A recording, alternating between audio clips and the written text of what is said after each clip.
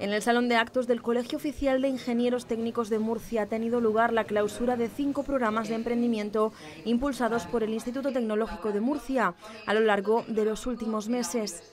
Hemos realizado junto con la Fundación Incide y con la financiación de Fondos Social Europeo y cofinanciados por la UCAN, eh, cinco programas que, en el que se van a presentar y se han trabajado 116 eh, eh, proyectos, 116 ideas de negocio y que de alguna forma pues culminan la actividad relacionada con el emprendimiento del ITM a lo largo de este año. Y la verdad es que nosotros estamos muy contentos aquí en Murcia trabajando con con las instituciones, con la UCAN y el Colegio de Ingenieros, porque creemos que además Murcia es una región de gente muy emprendedora. Prueba de ello es el éxito que en cada edición tienen estos itinerarios formativos en los que juegan un papel esencial también cátedras como la Internacional de Mujer, Empresa y Deporte o la de Innovación de la UCAM. Esta cátedra es una cátedra que, que ha nacido con una, como una iniciativa muy ambiciosa Estamos a punto de lanzar el máster de, innovación.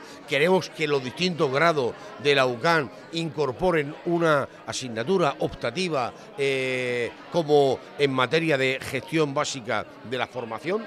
Y luego en el ámbito empresarial lo que pretendemos es divulgar todo tipo de herramientas, métodos, conocimientos relacionados con la innovación por ejemplo, blockchain, la inteligencia artificial, robótica, el big data. La verdad es que es un momento importante, porque nosotros, para la cátedra, que lo que pretende la cátedra es conseguir la igualdad de oportunidades de todas las personas y en especial hay que hacer un inciso fuerte con las mujeres, que hay muchas mujeres que no tienen esa igualdad real en el día a día. Entonces nosotros entendemos que hay tres pilares básicos para conseguir la igualdad de las personas. Uno, es la investigación, otro es la formación y entre ellos tenemos estos cursos de formación y la otra pata de nuestra, de nuestra cátedra, lógicamente, es la comunicación.